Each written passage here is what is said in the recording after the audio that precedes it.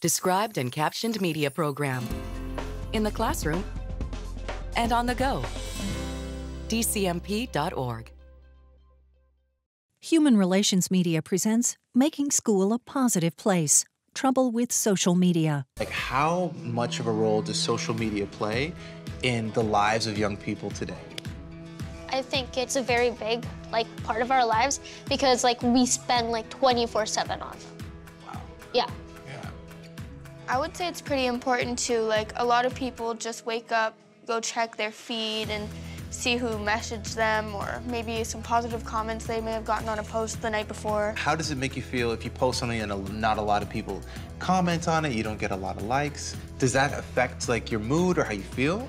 Sometimes it makes you a little like upset because you're like, what happened? Like I was doing great and then you're like, And sometimes um, people actually decide to delete that because like, oh, I didn't get as much likes as on this one than the last one. So they just delete the post. Yeah, they would just delete it. The Described and Captioned Media program provides services designed to benefit students who are blind, visually impaired, deaf, hard of hearing, and deafblind.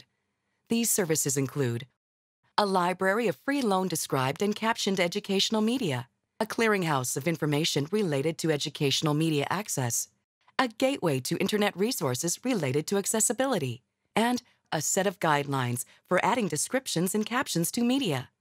There are no user registration or service fees. Visit the DCMP at dcmp.org. The DCMP is funded by the U.S. Department of Education and administered by the National Association of the Deaf.